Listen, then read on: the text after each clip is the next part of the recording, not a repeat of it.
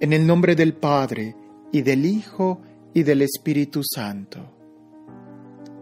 Tu palabra, Señor, fue escrita bajo la inspiración del Espíritu Santo y exige ser leída con un corazón abierto, atento y en la presencia de tu Santo Espíritu.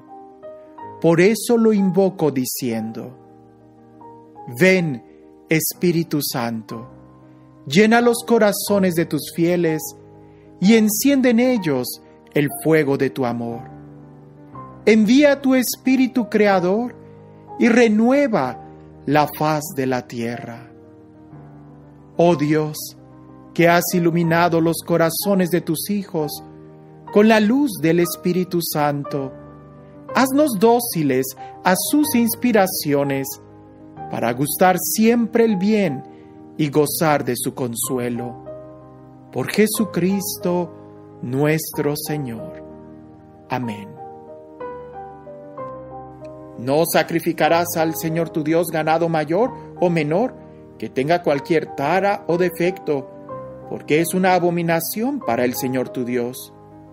Supongamos que hay en medio de ti, en alguna de las ciudades que el Señor tu Dios te va a dar, un hombre o una mujer que haga lo que el Señor tu Dios reprueba, violando su alianza, yéndose a servir a otros dioses y a postrarse ante ellos, o ante el sol, la luna o todo el ejército de los cielos, cosa que yo no he mandado.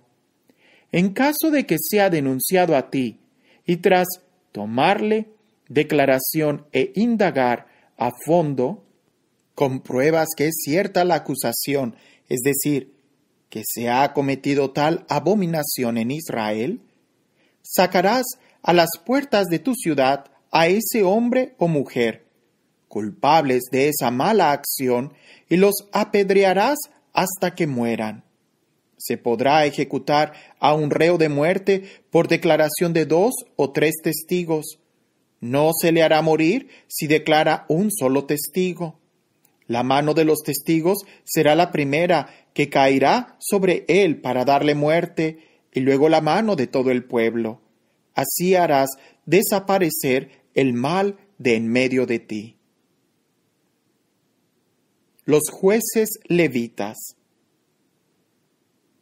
Si el caso que has de juzgar te resulta demasiado difícil, por ejemplo, casos de sangre, de pleitos, de lesiones o casos de litigio en tus ciudades, te aviarás y subirás al lugar que elija el Señor tu Dios Allí acudirás a los sacerdotes levitas y al juez que entonces esté en funciones. Ellos harán una investigación y te indicarán el fallo de la causa. Tú te ajustarás al fallo que te hayan indicado desde ese lugar que elija el Señor, y cuidarás de actuar conforme a cuanto te haya indicado. Te ajustarás a las instrucciones que te haya dado y a la sentencia que te dicten. No te desviarás ni un ápice del fallo que te señalen. Y si un hombre procede insolentemente, no escuchando al sacerdote que se encuentra allí, al servicio del Señor tu Dios, o al juez, ese hombre morirá, y tú harás desaparecer el mal de Israel Así todo el pueblo se enterará y temerá, y no actuará más con insolencias. Los reyes. Si cuando hayas entrado en la tierra que el Señor tu Dios te va a dar, la hayas tomado en posesión y habites en ella, dices, querría poner un rey que me gobernase, como ocurre en todas las naciones de alrededor podrás poner un rey, el que elija el Señor tu Dios. El rey que te gobierne saldrá de entre tus hermanos. No podrás poner un extranjero a alguien que no sea paisano tuyo. Pero ha de hacer acopio de caballo, ni hará volver al pueblo a Egipto para aumentar su caballería. porque el Señor os ha dicho, no volveréis a ir jamás por ese camino, que tampoco haga acopio de mujeres, no sea que se descarríe su corazón, que no haga excesivo acopio de plata y de oro. Cuando suba al trono real, deberá escribir para su uso una copia de esta ley, tomándola del libro de los sacerdotes levitas. La llevará consigo y la leerá todos los días de su vida. Así aprenderá a respetar al Señor su Dios, observando todas las palabras de esta ley y estos preceptos para ponerlos en práctica. Así su corazón no se engreirá sobre sus hermanos y no se desviará de estos mandamientos ni un ápice. De este modo prolongará los días de su reino, él y sus hijos en medio de Israel. El sacerdocio levítico. Los sacerdotes levitas, toda la tribu de Leví, no tendrán parte ni heredad con Israel. Comerán de los manjares ofrecidos al Señor y de su heredad. No tendrán heredad entre sus hermanos. El Señor será su heredad, como Él les dijo. Este será el derecho de los sacerdotes sobre el pueblo, sobre aquellos que ofrecen un sacrificio de ganado mayor o de ganado menor. Se dará al sacerdote la espaldilla, las quijadas y el cuajar. Le darás las primicias de tu trigo, de tu mosto y de tu aceite, así como las primicias del esquileo de tu ganado menor. Lo harás porque el Señor tu Dios lo ha elegido de entre todas las tribus para ejercer su ministerio en el nombre del Señor, él y sus hijos para siempre. Si el levita llega de una de tus ciudades de Israel, donde reside y entra en el lugar que elija el Señor, porque lo desea con toda su alma, oficiará en el nombre del Señor su Dios como todos sus hermanos levitas que están allí en presencia del Señor. Comerá una porción igual a la de ellos, aparte de lo que obtenga por la venta de su patrimonio. Los profetas.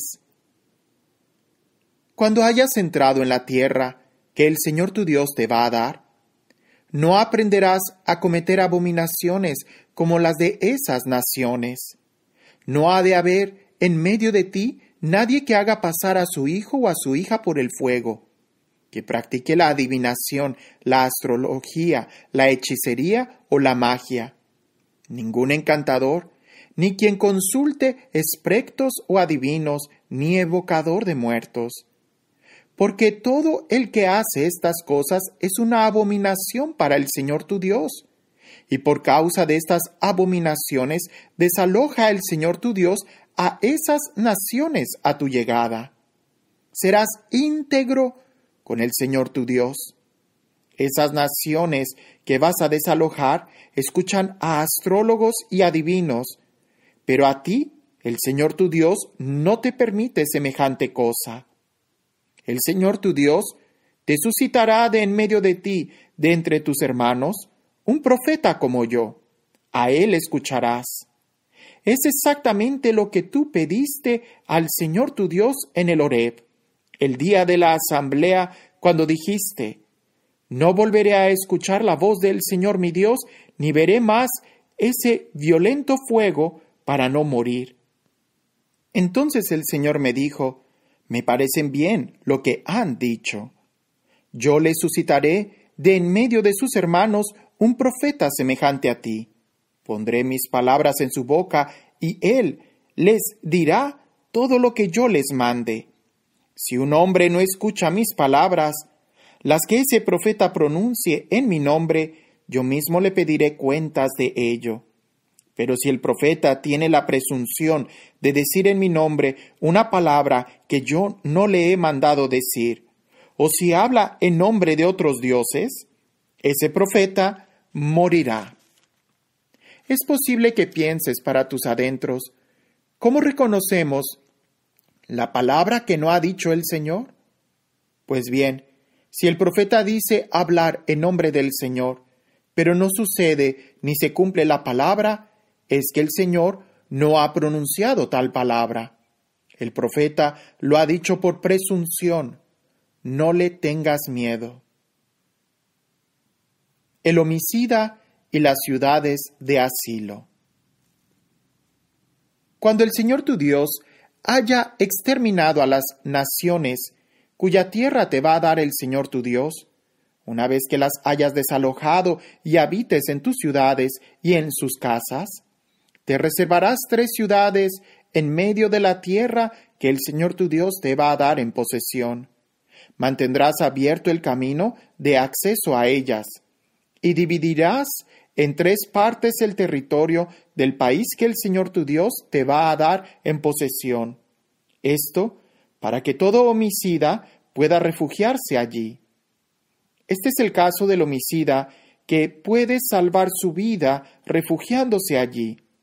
El que mate a su prójimo inadvertidamente sin haberle odiado antes.